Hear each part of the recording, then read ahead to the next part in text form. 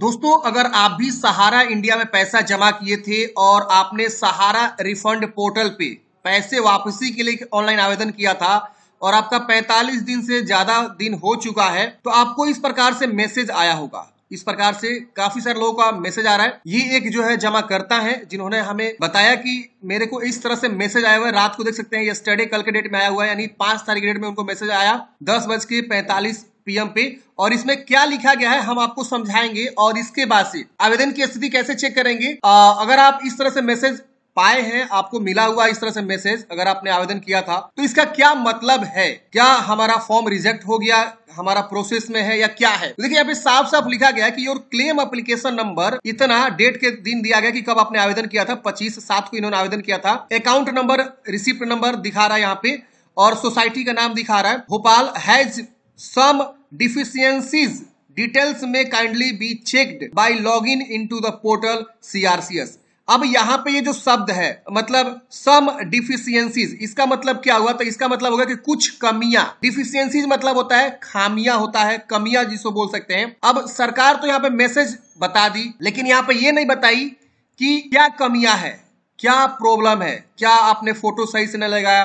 Document सही से upload नहीं किए। तो यहाँ पे इन्होंने बस ऐसे मैसेज कर दिया कि आपके आवेदन में जो आपने क्लेम किया था, उसमें जो है कुछ कमियाँ पाई गई है। इस मैसेज का मतलब यही हुआ। और बोला गया कि डिटेल्स अगर आप देखना चाहते हैं तो काइंडली लॉग इन करिए पोर्टल पे और आप डिटेल्स को चेक करिए। तो हम जो है क्या करते हैं, एक बार लॉग इन करते हैं सेम इस खाता को, जो मैंने आपको दिखाया। यहाँ पे आप देख लीजिए, एक अकाउंट नंबर यहाँ पे। ठीक है ना? और इसको मैं लॉग इन करता हूँ। लॉग इन करने के लिए आप आ जाएँगे इस वेबसाइट पे जमा करता लॉग इन आप इस पे क्लिक करेंगे। यहाँ पे आधार का चार नंबर लिखेंगे, अंतिम चार अंक। और आधार से जुड़ा मोबाइल नंबर लिखेंगे। ओटीपी प्राप्त करे पे क्लिक करेंगे तो आपके उस नंबर पे ओटीपी जाएगा। ओटीपी को वेरीफाई करेंगे। वेरीफाई करते हैं फ्रेंड्स इस प्रकार से जो देखिए, मेरा जो है लॉगिन हो जाएगा। और यहाँ पे स्टेटस में अभी अंडर प्रोसेसिंग दिखा रहा है। यानी मैसेज के तौर पे हमें मिल चुका है कि कुछ कमियाँ है, कुछ खामियाँ हैं। जब हम यहाँ पे लॉग इन कर रहे हैं, कमियाँ देखने के लिए कि क्या कमी है, कुछ जो भी कमी है तो यहाँ पे अभी कुछ नहीं दिखा रहा है अंडर प्रोसेसिंग दिखा रहा है। ठीक है ना? अब सरकार यहाँ पे ये क्या कर रही है? 45 दिन से ज़्यादा हो चुका, सरकार बोली थी कि 45 दिन के अंदर, यहाँ साफ़ साफ़ लिखा हुआ आप देखेंगे ना, आप होम पेज पे आएँगे इनके यहाँ पे साफ़ साफ़ लिखा हुआ है कि 45 दिन के अंदर जो है, आपके पैसे की जो है चीज़ों को सत्यापित कर लिया जाएगा और पैसे जो है मतलब आपको आगे प्रोसेस कराया जाएगा। लेकिन यहाँ पे तो कमियाँ निकाली गई है। कि आपके एप्लीकेशन के अंदर कुछ ना कुछ कमियाँ है। लेकिन जब लॉग किया जा रहा है तो कुछ कमियाँ यहाँ पे दिखाई ही नहीं दे रहा है। अभी आप लॉग करके देखेंगे तो अंडर प्रोसेसिंग दिखा रहा है। आप हमें कमेंट बॉक्स में बता सकते हैं कि क्या आपको इस तरह से मैसेज आया हुआ है और आपको भी इस तरह से दिखा रहा है कि अंडर प्रोसेसिंग और मैसेज आ गया है कि मेरे आपके आवेदन में कुछ कमियाँ है। तो ये क्या कर रही है सरकार? मुझे तो कुछ समझ में नहीं काफ़ी ज़्यादा बदलाव हो रहा है इस तरह के पोर्टल में। सरकार को पैसा देना है, वो भी बता दे, नहीं देना है, वो भी बता दे। साफ़ वो अपना मकसद कर ही नहीं रही है। ये क्या हो रहा है? कुछ समझ में नहीं आ रहा है। अभी जो है, कुछ दिन पहले आप लोग आवेदन की स्थिति देख रहे थे तो मोस्टली लोगों का जो है, बिना रीजन का जो है, स्ट्रेस यहाँ पे रिजेक्ट हो गया था। मोस्टली लोगों का। और फिर जो है, कुछ दिन बाद आपने चेक किया तो वो फिर से अंडर प्रोसेसिंग चला गया। ये क्या चल रहा है? सरकार ये क्या कर रही है? कुछ समझ में नहीं आ रहा है। आप लोग कमेंट बॉक्स में बता सकते हैं कि इसके लिए हमें क्या करना चाहिए। आप कमेंट बॉक्स में ज़रूर बताइए। उस तरह से हम जो है एक मुहिम चलाया जाएगा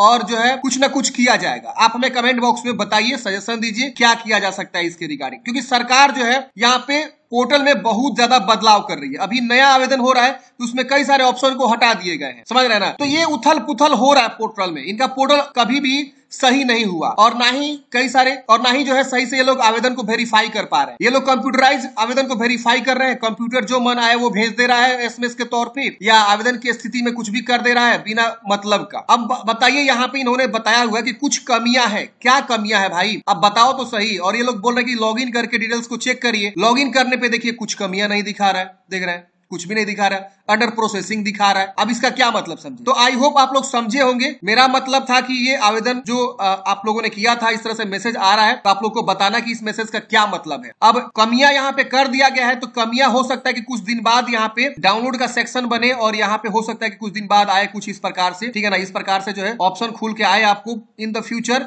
कि आप डाउनलोड करके देखिए कि क्या कमियाँ है यहाँ पे। ये मैं पुराना दिखा रहा हूँ आप लोगों को। जब, इस तरह से प्रॉब्लम हुए थे, कई सारे लोगों को रिजेक्ट हुआ था तो इस तरह से डाउनलोड करने का ऑप्शन आ रहा था। तो उस समय का मैं ये दिखा रहा हूँ। आप इस प्रकार से देख सकते हैं। डाउनलोड करने का ऑप्शन आएगा इन द फ्यूचर में। हो सकता है कि ये लोग कहीं अपडेट नहीं किए हो मैसेज भेज दिए हो लॉग करने पे देखा जा रहा है कि अंडर प्रोसेसिंग है। और हो सकता है कि बाद में यहाँ डाउनलोड का सेक्शन देके कमियाँ को बताया जाए। अब देखते हैं जो भी इन द फ्यूचर जब भी कोई अपडेट आएगा, मैं आप लोग को अपडेट दूँगा। और आप लोग जो है कुछ निर्णय ज़रूर करिए कि इसके लिए क्या करना पड़ेगा। क्योंकि सरकार जो है आप लोग को इसमें उलझा के, फंसा के रखना चाह रही है। समझ रहे ना? पैंतालीस दिन हो चुका, अब सोचिए इनको पैसा भेजना चाहिए। और पैसा इन्होंने भेजा भी ना तो दस ही लोगों को भेजा। अब दस लोगों को भेज के ये लोग दिखा दिए कि हाँ हम पैसा भेज दिए बस इन लोगों को वाहवाही चाहिए और कुछ नहीं चाहिए। न्यूज़ बन गया कि पैसा सरकार ने भेज दिया, बस। और इससे कुछ ज़्यादा इनको नहीं चाहिए। देख रहे हैं ना? तो ऐसा जो है सरकार कर रही है, बहुत ही गलत बात है, लोगों को फंसा के रख रही है। पैसा देना है तो सही से बताए कि पैसा हम दे देंगे इतने दिन के अंदर। नहीं देना है तो साफ़ साफ़ लिख दे कि मेरा पोर्टल बंद हो गया, वगैरह वगैरह जो भी है। तो आई होप आप लोग समझे होंगे, कोई भी अपडेट आएगा फ्यूचर में तो आप लोग को अपडेट हम देंगे। मिलते हैं नेक्स्ट वीडियो में। जय हिंद।